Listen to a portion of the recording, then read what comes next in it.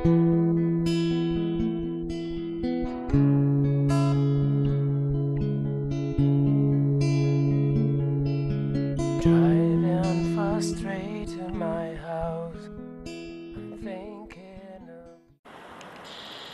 der deroppe, det er Reeds Glacier, eller ja, det her Reeds Glacier. Øh, Den er lidt beskidt, fordi den er ved at trække sig tilbage, så der er masser af jord, der kommer til syne. Øh, Men vi gjorde lidt guncoaling, så vi ligger her mutters alene, hvilket jo er dejligt. Øh, Det der is skal vi ikke have i vores glas i aften, men vi har noget ren glacieris, som vi kan komme ned i vores drinks. Solen skinner, og det bliver bare ikke bedre, venner. Det bliver ikke bedre.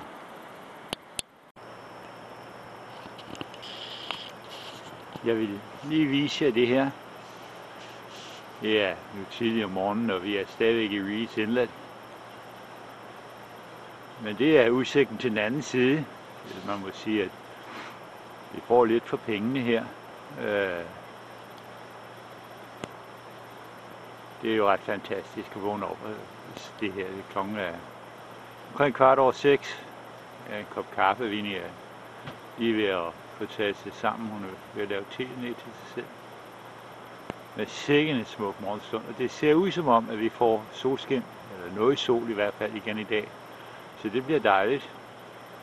I dag skal vi op og se noget af det her Limburg øh, Glacier og Margrethe Glacier, og de to de skulle være de mest fantastiske tidlandsglacier, hvor de kalver lige ned i vand i foran en. Så det bliver meget, meget spændende. Ja, venner, det her, det er lige her. Det er, hvad Vinnie og jeg kom helt fra Polynesien, da vi har sejlet over 7.000 sømil for at opleve. Det er det her lige her. Og hvad er vi bare ufattelig heldige, at vi har ramt nogle dage her, hvor der er solskin her i Glacier Bay. Skal det være de næste 4 dage, hvor vi er På Prøv at se det. Jamen det var altså lige fra en, øh, ja hvad skal jeg sige, det, det er jo lige fra en, øh, en turistbrochure det der. Det et handelskammerbillede, noget handelskammer tager billeder af. Det er ligesom, når garden trækker op i rødt på dronningens fødselsdag, så øh, en gang hver 10 år, så er der solskin og blå himmel. Så øh, bliver alle billederne taget til turistbrochuren. Prøv at se det.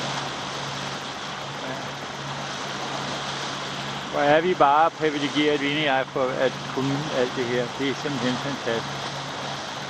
Det er det. Fantastisk.